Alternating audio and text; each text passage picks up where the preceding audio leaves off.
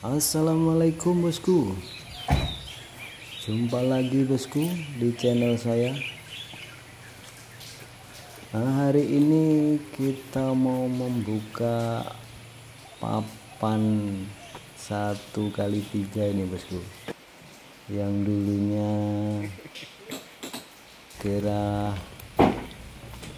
buat siling ini bosku ini kita mau bongkar habis nanti bosku keliling semua yang di luar ini bosku nah nanti kita mau ganti pakai siling. Siling asbestos itu bosku yang ukurannya 4 kali 4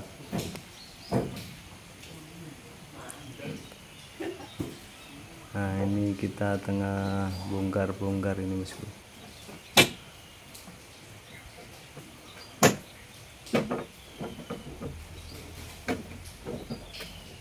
oke bosku.